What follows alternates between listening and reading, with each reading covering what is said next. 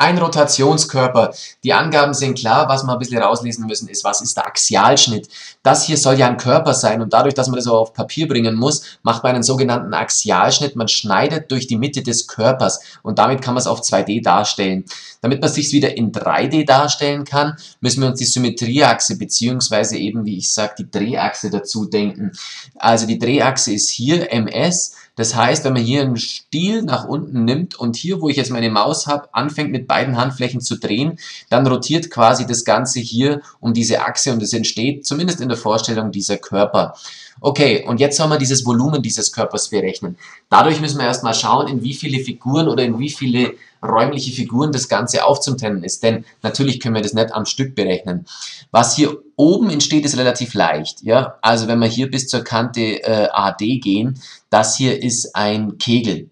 Also wenn ich das hier oben rotieren lasse, erhalte ich einen Kegel.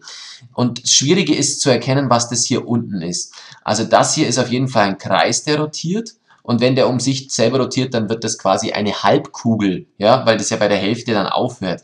Und irgendwann hört dieser Kreis doch auf und geht gerade weiter. Da muss ich jetzt erkennen, dass das nochmal ein eigener Körper ist. Also von hier CD und AB. Wenn das hier rotiert, ist es ja nichts anderes als ein Rechteck und das wird quasi ein Zylinder. Das heißt, diese Figur besteht aus drei Körpern. Halbkugel, Zylinder und Kegel. Und die muss ich jetzt nach und nach berechnen. Volumen von einer Halbkugel ja, nehmen wir mal das Volumen von einer Kugel, da braucht man eigentlich nämlich nur den Radius und den haben wir schon.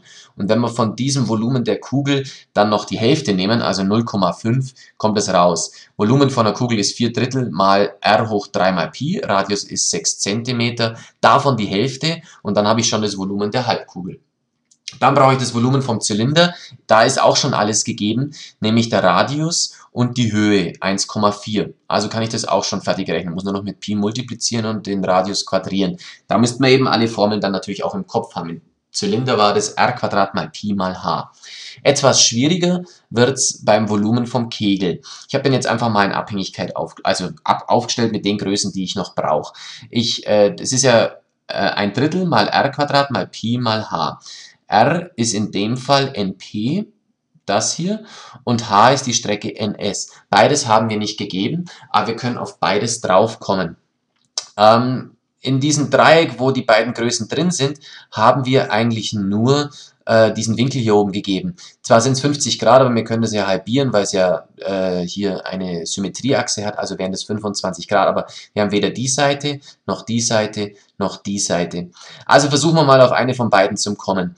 Ähm, dadurch, dass wir hier 1,4 cm haben, können wir vielleicht insgesamt ein bisschen was werkeln. Denn der Tangens von, 6, von 25 Grad ist 6 zu der Seite MS. Wenn ich diese Seite MS hätte, müsste ich nur 1,4 abziehen und ich hätte NS.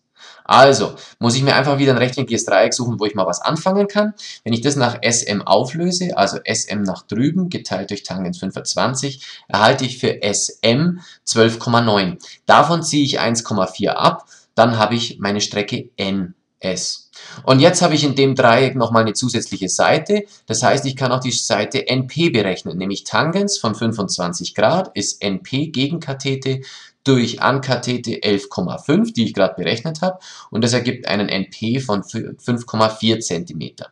Jetzt habe ich NP gegeben in der Kegelformel. Ich habe NS gegeben in der Kegelformel. Das heißt, ein Drittel mal 5,4 Quadrat mal Pi mal 11,5. Das ergibt für den Kegel dann 351,2 Kubikzentimeter und alle drei zusammen addiert ergibt dann 961,9 Kubikzentimeter.